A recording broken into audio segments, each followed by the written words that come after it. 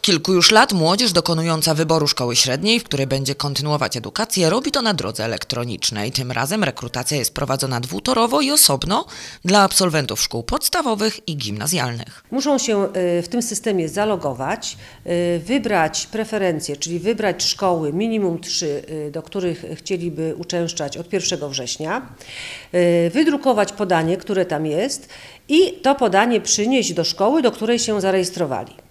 Y, Mają czas na to, tak jak mówiłam, do 25 czerwca. Jak znaleźć system? Wystarczy wpisać dolnośląskie.edu.com.pl. Tam do wyboru będzie droga dla gimnazjalistów i uczniów ósmych klas szkół podstawowych.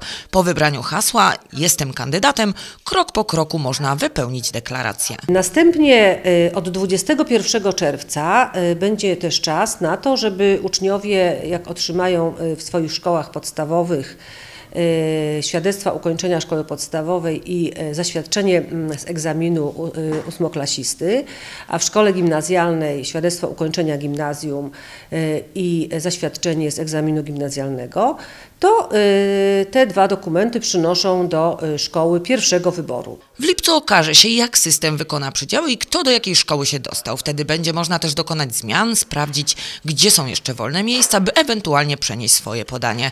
Każda ze szkół będzie prowadziła edukację odrębnymi programami dla absolwentów klas ósmych i gimnazjów. W tym y, roku szkolnym otwieramy klasy y, i dla dzieci y, kończących podstawówkę, i dla dzieci kończących gimnazjum.